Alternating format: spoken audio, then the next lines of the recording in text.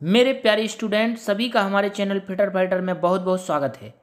आज मैंने जो क्वेश्चन बनाए हैं, वो ऑल इन वन बनाए हैं। ऑल इन वन का मतलब मैंने इस वीडियो में आईटीआई थ्योरी के क्वेश्चन में भी मैंने डाले हैं मैथ्स के क्वेश्चन भी डाले हैं साइंस के भी डाले हैं रीजनिंग के भी डाले हैं, हिंदी के भी डाले हैं। तो ये बनाने का मेरा मकसद क्या है? इन सारे क्वेश्चन को बनाने का मकसद है, ये आईटीआई थ्योरी भी है मैथ भी है साइंस भी, ये सारी चीज़ें मैं बोल रहा हूँ, इसको इकट्ठा मैंने एक पेपर में बनाया है। क्यों? क्योंकि जो भी हमारे नेक्स्ट एग्ज़ाम होने वाले हैं, उन सब एग्ज़ाम में ये सारी चीज़ें आती हैं। तो मैंने एक बिल्कुल पेपर टाइप एक टेस्ट बनाया है, जिस तरीके से हमारे एग्ज़ाम में पेपर होता है। तो आप हमारे पूरे वीडियो को देखिए और किस तरीके से एग्ज़ाम में क्वेश्चन आते हैं उन्हें समझिए। हम वीडियो स्टार्ट करते हैं। पहला क्वेश्चन हमारा है बेल्डिंग में रूट गैप क्यों दिया जाता है? जो हमारी बेल्डिंग होती है, उसमें रूट गैप क्यों दिया जाता है? तो पहले मैं आंसर बता देता हूँ कि जो हमारा रूट गैप दिया जाता है, और रूट गैप को कैसे समझेंगे हम? तो इस तरीके से मैं एक प्लेट बना देता हूँ, और एक प्लेट में इधर बना देता हूँ। इन दो प्लेटों को जोड़ना था हमें। जैसे मान लीजिए, ये ए प्लेट है, और ये बी प्लेट है तो इन दोनों प्लेटों को जोड़ना था। तो हमने इन प्लेटों को सटाकर नहीं रखा। इनके बीच में ये गैप दिया है। देखिए, बीच में ये गैप है, जहाँ जहाँ मैं लहर बना रहा हूँ, ये गैप है।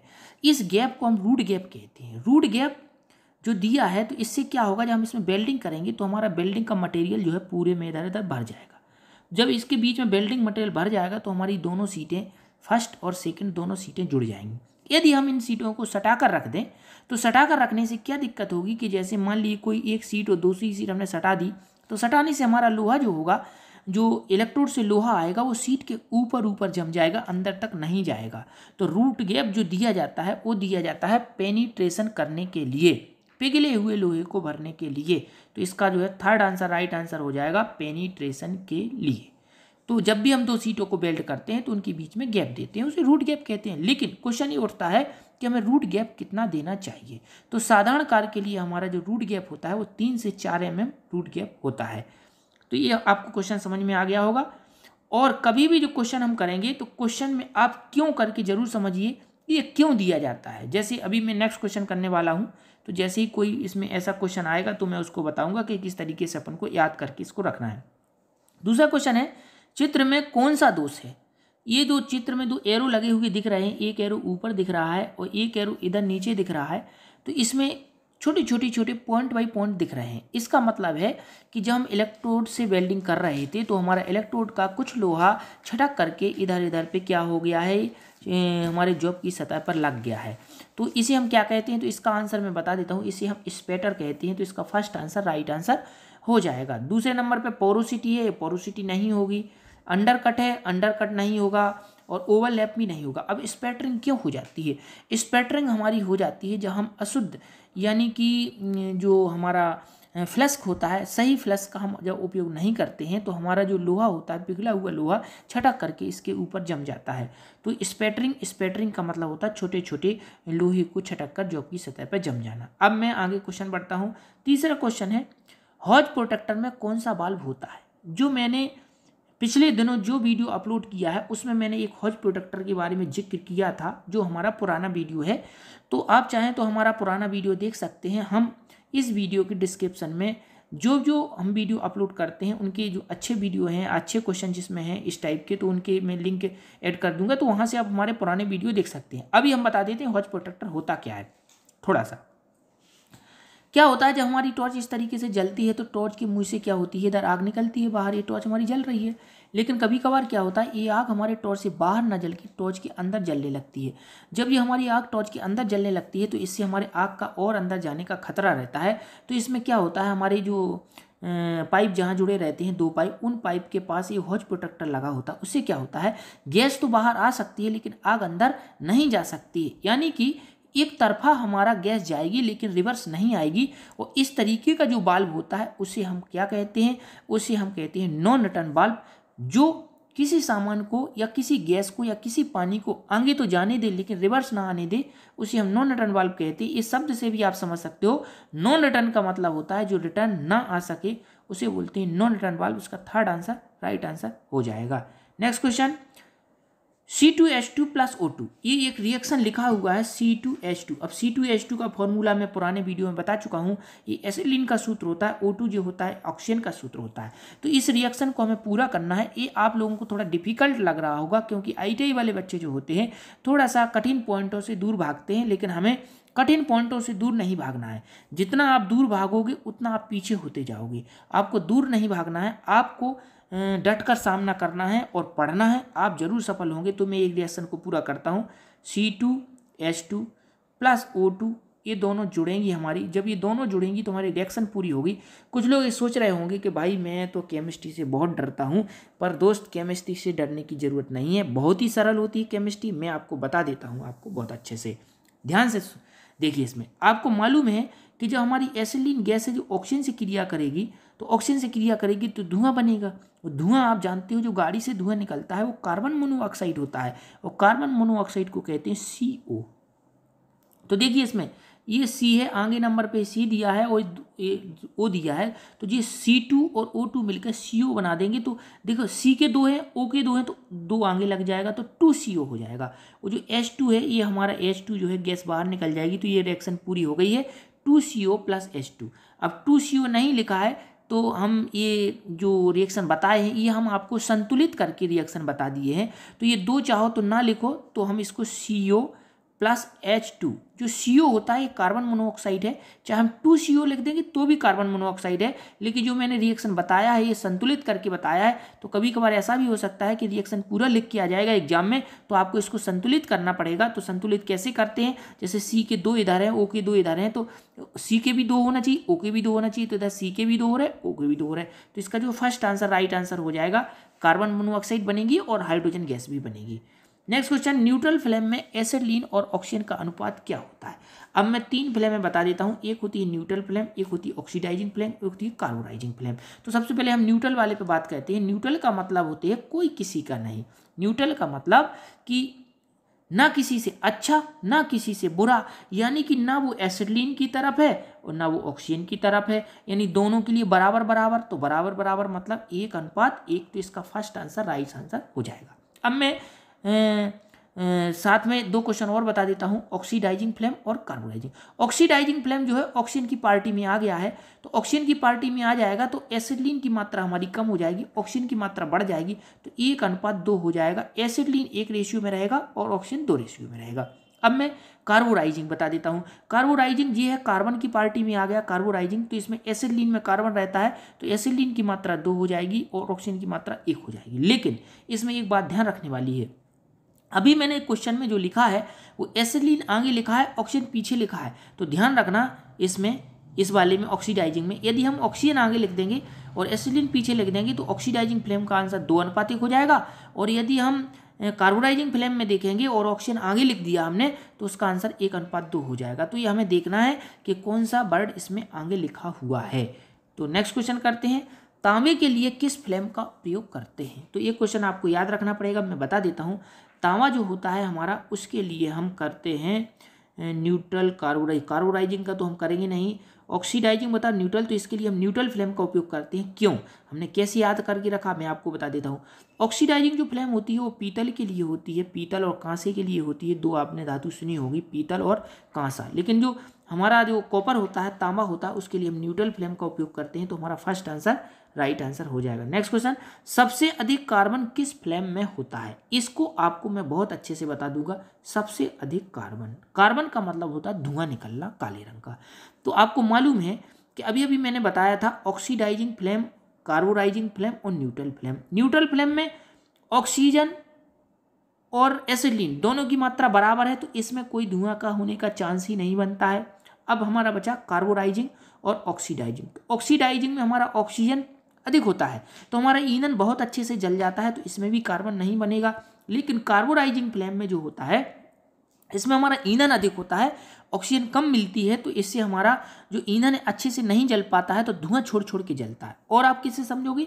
आप कार्बोराइजिंग का जो हमारा उच्चारण हो रहा वो का से हो रहा कार्बोराइजिंग का से तो कार्बन भी का से तो इसलिए इसका आंसर हो जाएगा कार्बोराइजिंग। तो सेकेंड आंसर राइट आंसर हो जाएगा। नेक्स्ट क्वेश्चन ब्रीजिंग का फ्लस्क है।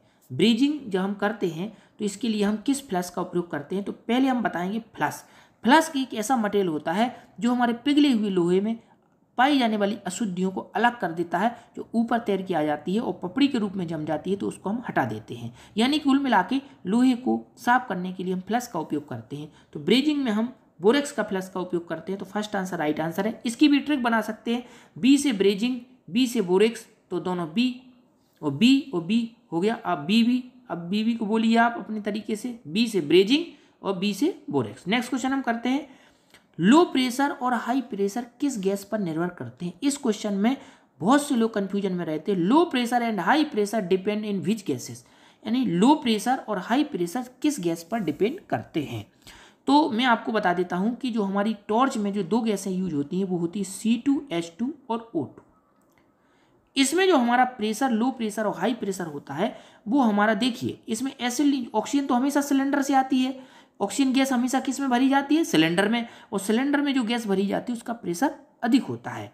हमेशा अधिक रहता है। लेकिन एसिलिन एक गैस जो होती है, जो सिलेंडर में भरी जाती है, एक गैस वो होती है जिसको हम खुद बनाते हैं। किसके द्वारा बनाते हैं? कैल्शियम कार्बाइड के पत्थर पर। कैल्शियम कार्बाइड का सूत्र मैं लिख देता हूँ।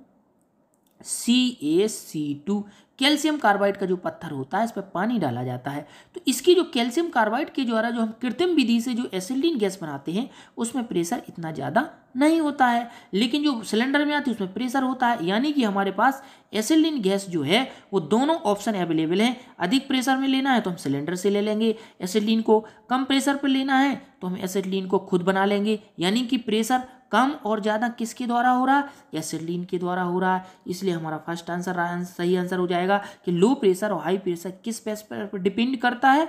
एसिलिन गैस पर डिपेंड करता है क्योंकि ऑक्सीजन तो हमेशा हाई प्रेशर पर आती है सिलेंडर से आती है। कभी हम ऑक्सीजन को खुद नहीं बना सकते हैं। तो ये आंसर जो है फ़र्स्ट आंसर राइट आंसर होगा। कई दोस्तों को क्या है, इसमें दिक्कत हो रहा होगा कि इंग्लिश है, हिंदी है, क्या है? इसमें परेशान मत होइए। क्योंकि भाई हम हिंदी में लो प्रेशर पढ़ रहे हैं, इंग्लिश में लो प्रेशर पढ़ रहे हैं, हिंदी में हाई प्रेशर पढ़ रहे हैं, इंग्लिश में हाई प्रेशर पढ़ रहे हैं तो ऐसा कोई टेंशन मत लीजिए और कोई बहुत एकदम दिमाग में प्रेशर मत दीजिए। आप अच्छे से समझिए, कोशिश कीजिए। आप अच्छे से समझोगे तो आप किसी भी मंजिल को पा सकते हैं। कुछ लोग हिंदी को देखकर घबरा जाते हैं, कुछ लोग इंग्लिश को देखकर घबरा जाते हैं। इस टेंशन को आप भूलिए और कोशिश कीजिए। कोशिश करने वालों की कभी हार नहीं होती है। नेक्स्ट क्वेश्चन हम करते हैं। दसवां नंबर, सबसे लंबी ज्वाला किस फ्लेम की निकलती है? ज्वाला आप जानते हो, ज्वाला किसे कहते हैं? ज्वाला मतलब ज्वालामुखी आपने सुना होगा। ज्वाला का मतलब होता है आग।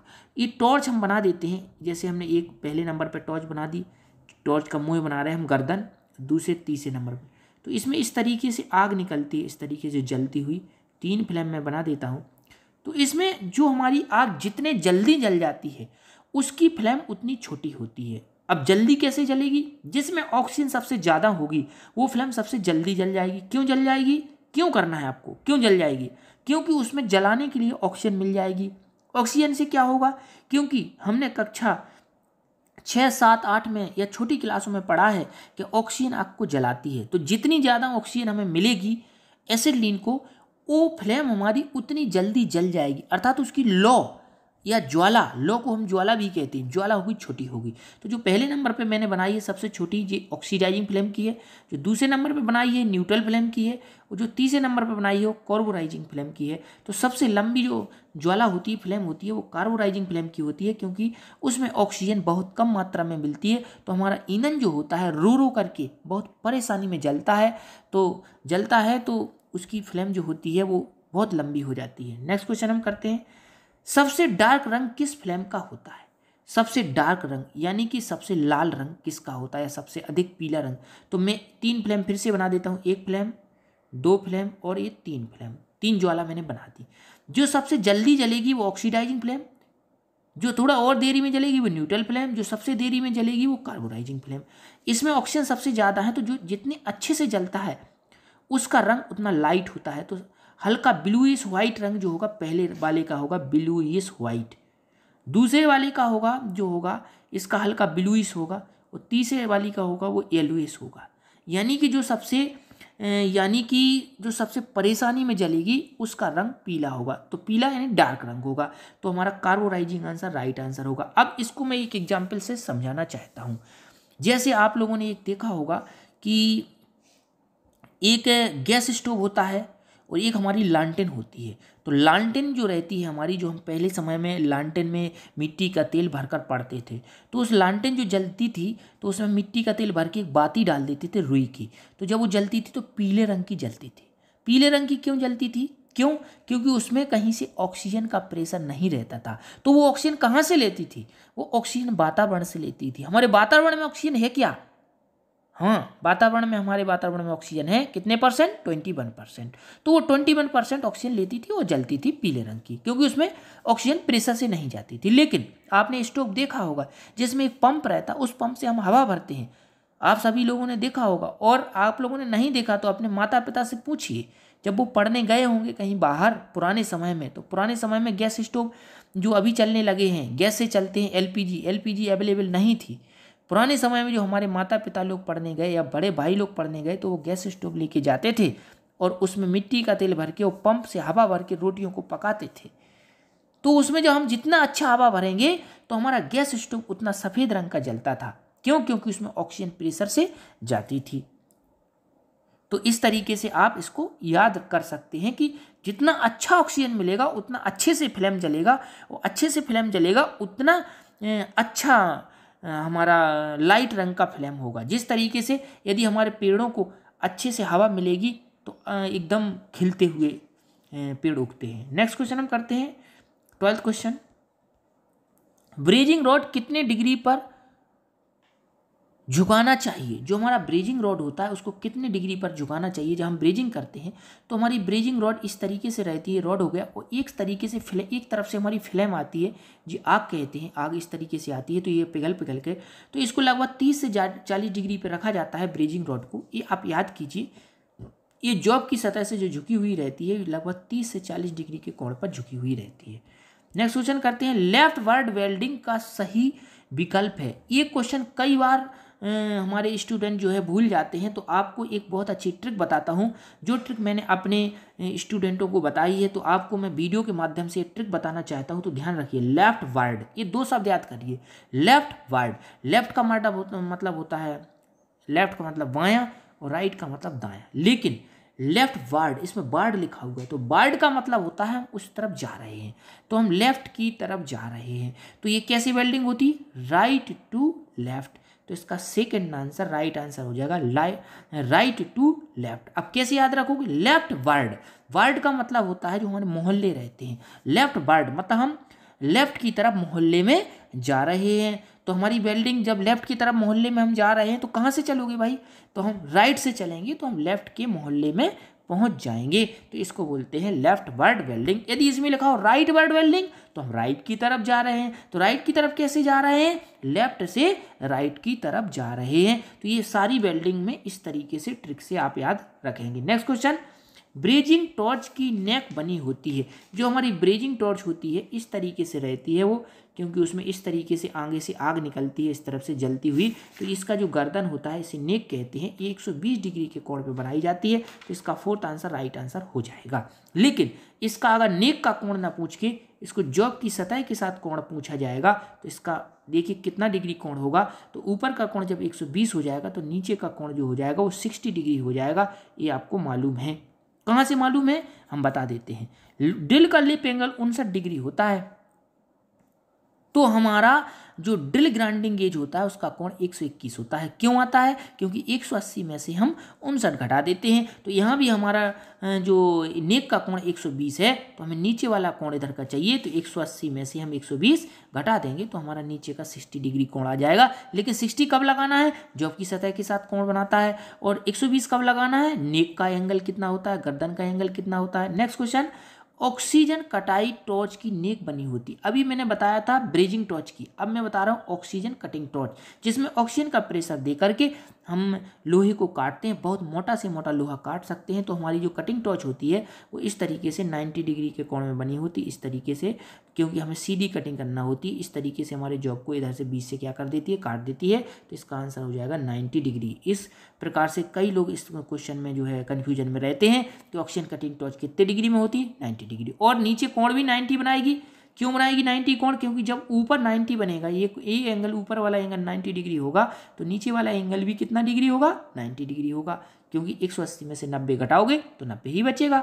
नेक्स्ट क्वेश्चन प्री हीटिंग में किस फ्लेम का उपयोग करते हैं? जब किसी जॉब को काटना होता है, यानी मान लीजिए हमें इधर बीस से इसको काटना है तो पहले हम फ्लेम को जो सेट करते हैं इसके ऊपर जॉब को गर्म करने के लिए तो जॉब को जब गर्म किया जाता है तो गर्म करने के लिए हम ऑक्सीजन का उपयोग नहीं करते हैं। हम गर्म करने के लिए प्री हीटिंग फ्लेम का उपयोग करते हैं। तो ये क्वेश्चन भी तैयार हो गया कि जॉब को कटिंग करने के पहले जब हम जॉब को हीट किया जाता है तो उसे क्या कहते हैं? उसे हम प्री हीटिंग कहते हैं। जैसे जिस प्रकार से आपके बोर्ड के एग्ज़ाम के पहले एक एग्ज़ाम होता है जिसे हम प्री बोर्ड कहते हैं। प्री बोर्ड का मतलब होता है नेक्स्ट बोर्ड का एग्ज़ाम देने के लिए जो हम तैयारी कर रहे हैं, उसे प्री बोर्ड कहा जाता है। तो हम कटिंग करने के पहले जो हीटिंग कहते हैं, उसे हम प्री हीटिंग कहते हैं। तो आप शब्दों को समझिए। जब तक आप शब्दों पर कमांड नहीं बनाओगे, आप थ्योरी पे कमांड नहीं बना सकते हैं। प्री हीटिंग प्री को अलग कर दो हीटिंग को अलग कर दो। मतलब मेन हीटिंग के पहले जो हीटिंग होती है, उसे हम प्री हीटिंग कहते हैं। तो इसमें जो हम फ्लेम का यूज़ करते हैं, उसमें न्यूट्रल फ्लेम का यूज़ करते हैं। न्यूट्रल फ्लेम का यूज़ इसलिए करते हैं क्योंकि न्यूट्रल फ्लेम किसी को सपोर्ट नहीं करता है। यानी कि इस जॉब में किसी भी प्रकार की विकृति या खराबी उत्पन्न नहीं करता है। जब ये हमारा जॉब उस जगह पर, जिस जगह पर हमारी टॉर्च, हम टॉर्च से गर्म करते हैं तो गर्म हो जाता है। फिर इसके बाद लीवर को दबा करके हम ऑक्सीजन का प्रेशर देते हैं तो हमारा ऑक्सीजन जो है काटना स्टार्ट कर जाता है। धीरे धीरे हम टॉर्च को आगे बढ़ाते हैं धीरे धीरे टॉर्च को हम आगे बढ़ाते हैं तो हमारा प्री हीटिंग भी होता जाता है और ऑक्सीजन से कटता हुआ चला जाता है। लेकिन टॉर्च को बहुत जल्दी से आगे नहीं बढ़ाना है। सेवनटीन क्वेश्चन एक नोजल का नाम बताओ। इस नोजल का हमें नाम बताना है। अभी अभी मैंने एक कटिंग टॉर्च बताई है। सोलहवें क्वेश्चन में तो कटिंग टॉर्च का जो आगे का मुँह होता है, वो इस तरीके का रहता है, जिस तरीके से गोल में बना हुआ है। इसका जो बीच का होल है, देखो मैं यार उसे बता देता हूँ, ये बीच का होल होता है ओ टू ओ टू अर्थात इसमें प्योर ऑक्सीजन निकलती है। और जो किनारे के छः होल बने हुए हैं, देखिए छोटे छोटे होल बने हुए छः होल, ये होते हैं न्यूट्रल फ्लेम के लिए। ये किनारे के होलों में जो निकलती है, वो निकलती है सी टू एच टू और ओ टू दोनों की मात्रा बराबर रहती है, क्योंकि न्यूट्रल फ्लेम रहती है। और बीच के होल से निकलती है ऑक्सीजन जो कटिंग करने का काम करती है। और इस टॉर्च का साइज़ जो है किनारों के होल से नहीं लिया जाता है। इस टॉर्च का साइज़ इसके बीच के होल से लिया जाता है, क्योंकि ये प्री हीटिंग टॉर्च नहीं है। ये टॉर्च है कटिंग टॉर्च। तो कटिंग कौन सा होल कर रहा? बीच वाला होल कर रहा है, लेकिन सपोर्ट कर रहा है किनारों के होल। तो इस होल का, इस टॉर्च का साइज़ जो है बीच के होल से लेते हैं। खैर, ये क्वेश्चन हमारा नहीं है। नोजल का नाम बताना है। तो इस नोजल का नाम है कटिंग टॉर्च का नोजल। तो ये सेकेंड आंसर राइट आंसर हो जाएगा। नेक्स्ट क्वेश्चन किस टॉर्च में ऑक्सीजन का कंट्रोल लीवर द्वारा होता है? अभी अभी मैंने बताया है कि जो हमारी कटिंग टॉर्च होती है, उसमें जो हमारा लीवर लगा होता है, उससे हम ऑक्सीजन को प्रेशर देके काट सकते हैं तो इसमें ऑक्सीजन का कंट्रोल लीवर होता है तो इस टॉर्च का नाम होता है कटिंग टॉर्च तो फ़र्स्ट आंसर राइट आंसर हो जाएगा। नेक्स्ट क्वेश्चन देखिए इसमें।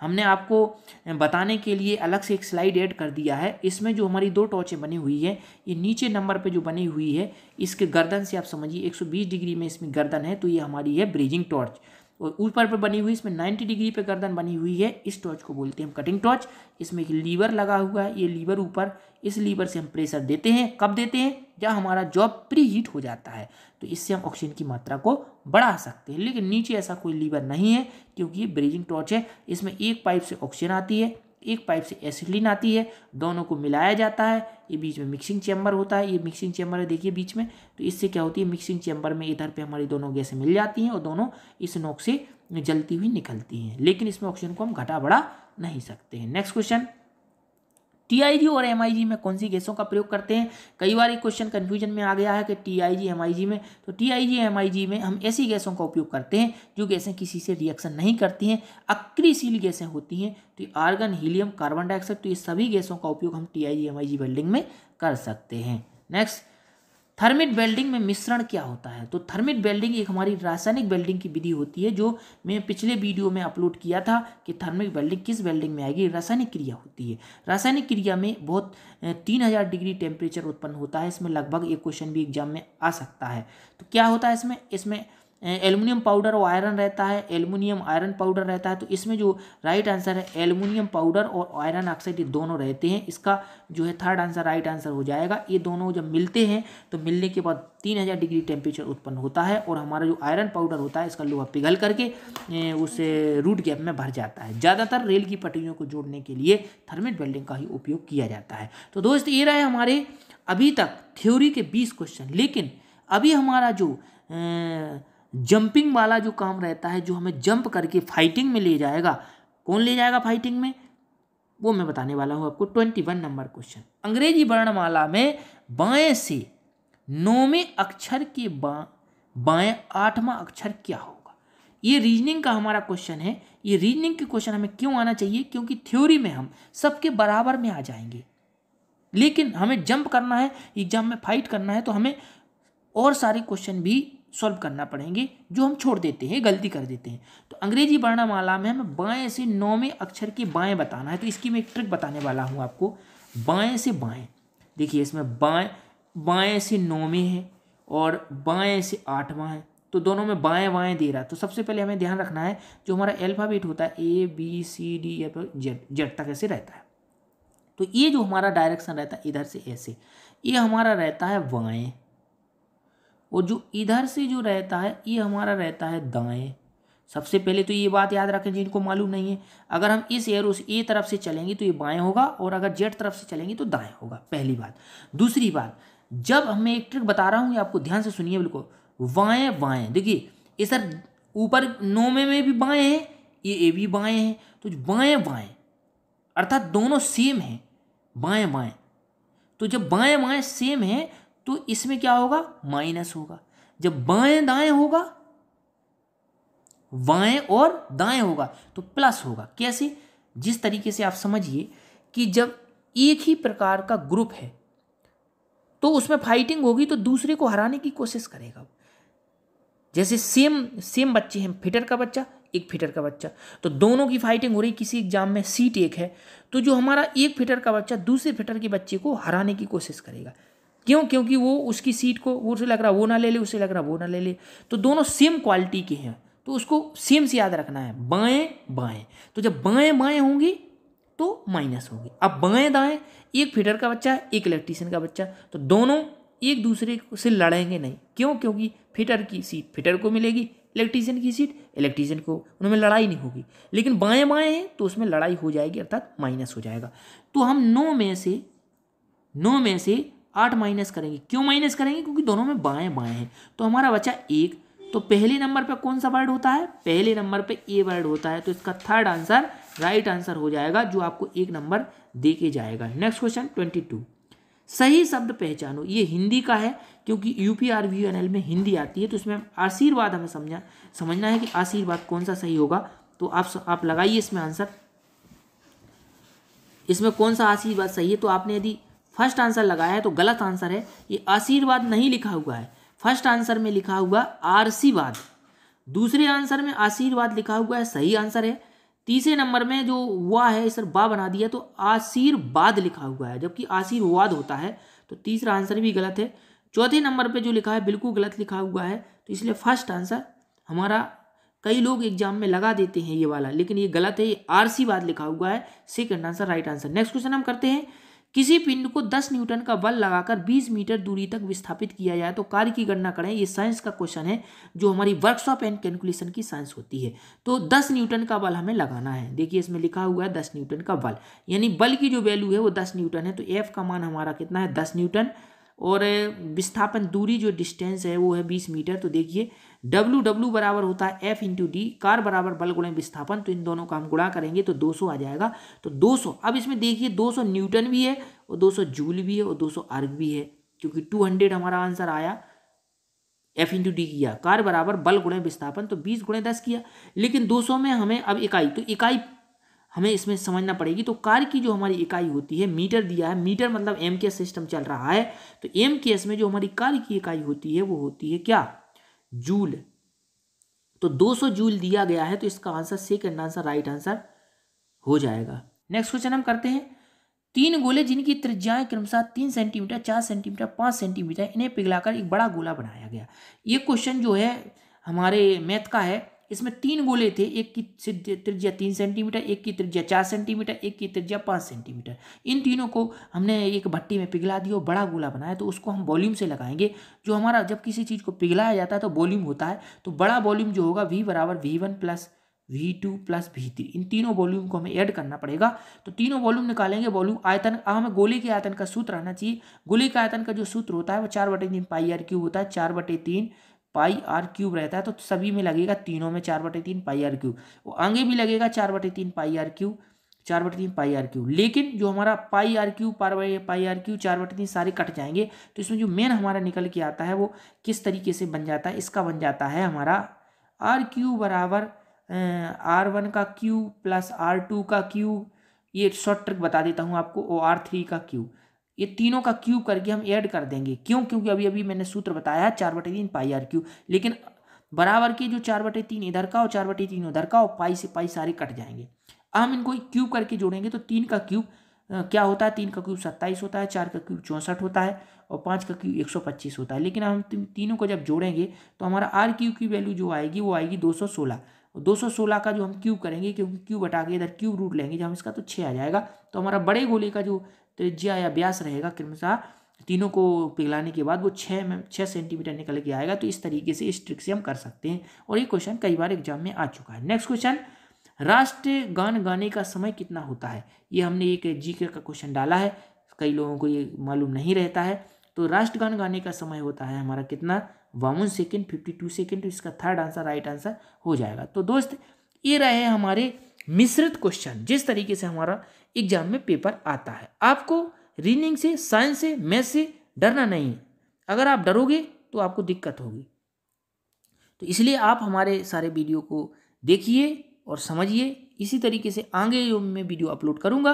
तो आगे की वीडियो देखने के लिए आप चाहो तो हमारे फेटर चैनल फिटर फाइटर को सब्सक्राइब कर सकते हो और आपको वीडियो यदि अच्छा लगे तो हमारे वीडियो को शेयर कर देना ताकि आपको फ़ायदा मिलने के साथ साथ आपके मित्रों को भी इसका फ़ायदा मिले। आज के लिए इतना ही। Okay bye.